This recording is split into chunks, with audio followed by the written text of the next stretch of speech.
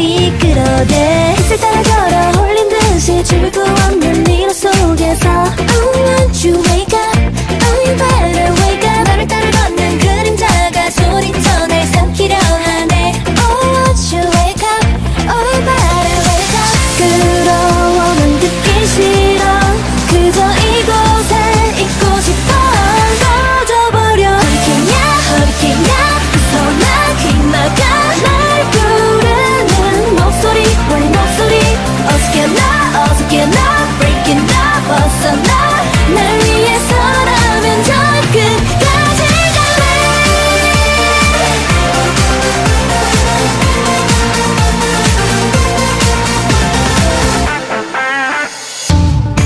accident.